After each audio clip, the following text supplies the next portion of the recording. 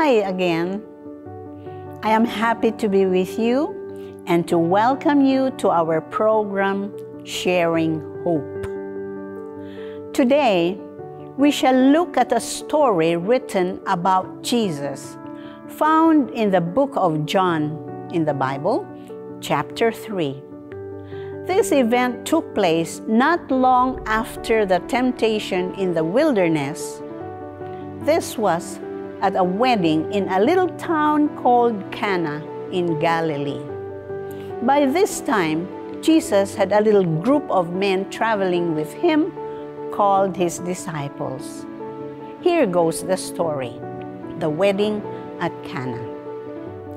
On the third day, there was a wedding at Cana in Galilee, and the mother of Jesus was there. Jesus also was invited to the wedding with his disciples.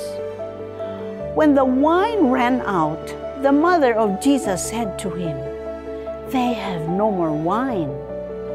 And Jesus said to her, Woman, does this have to do with me? My hour has not yet come.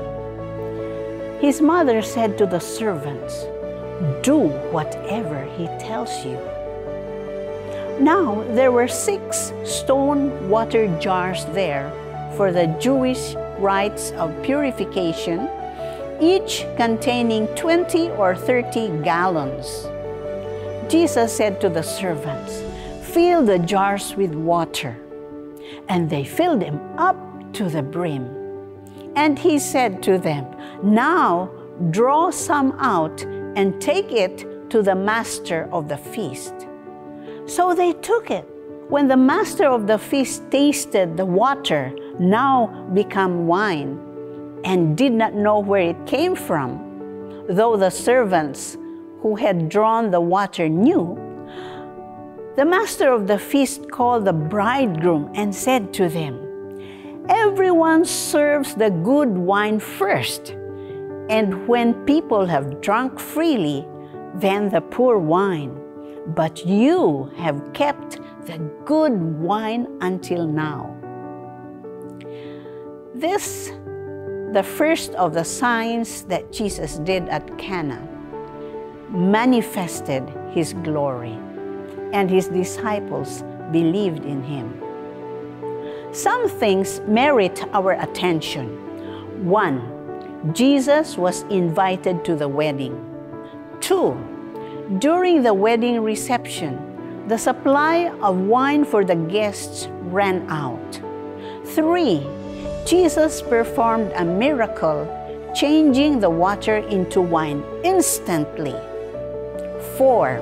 The master of the feast gave a comment You have kept the good wine until now.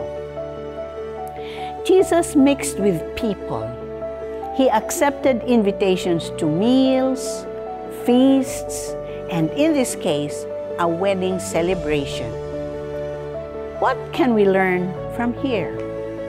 We too can invite Jesus to our birthday parties, our wedding celebration, to our homes, to our meals, no matter how simple the food may be. Also, times come in our lives when we run out of supplies or basic needs. Maybe the budget for our wedding is too small, or all of a sudden guests arrive and we don't have enough to feed them. The children have outgrown their clothes, and where do we get the money to get them new ones? Jesus can supply those needs if we ask Him. He knows what we lack, and often he already has the answer before we even ask.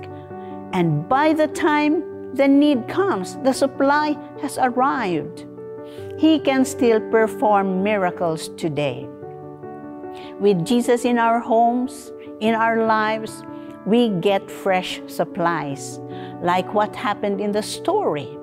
The best wine was served at the end, when usually the inferior supply comes out when the stock runs out. Not so with Jesus.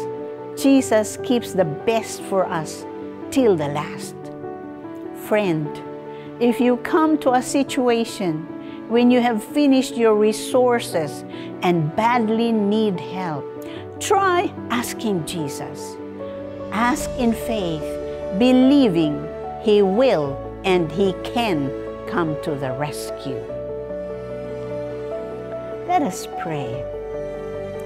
Our Heavenly Father, our God, our faithful provider, thank you for the promise that you will come to our aid when we need it. You have an unlimited supply of everything that we need. May we have that faith to come to you. Bless each listener. Provide them with the things that they need at this moment. You know what they are. And thank you for helping us when we need you. We pray in Jesus' name. Amen. We'd like for you to listen to a song that is rich with promises that we can claim.